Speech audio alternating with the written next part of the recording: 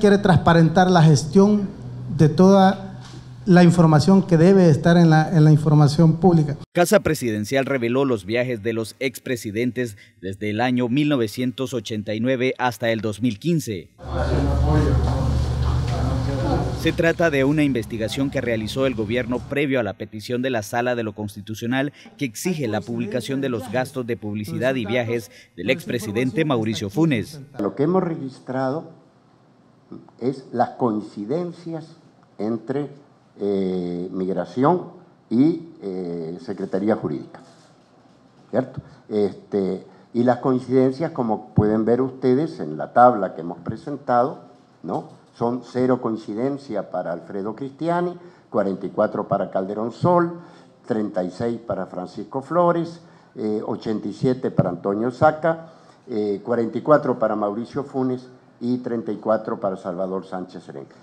Desde que entró en vigencia la Ley de Acceso a la Información Pública, se ha obligado al gobierno a llevar un registro de los gastos del presidente. Eso también es coherente con la política de este gobierno de avanzar en transparencia.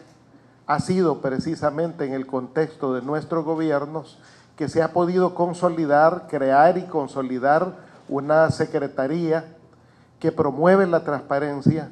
Nosotros hemos establecido ya un mecanismo para poder subir toda la información en un sistema automatizado que nos permita tener información. Según estos funcionarios, la solicitud de la sala saca a la luz los gastos de viajes de otros expresidentes.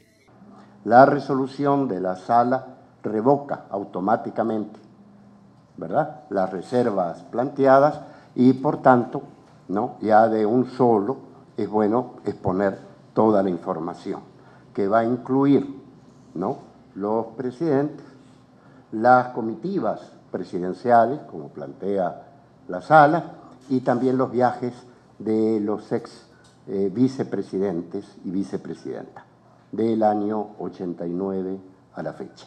En el informe no se reflejan registros de pago de viáticos, a excepción del actual presidente Salvador Sánchez Serén, quien lleva un reporte contable más completo.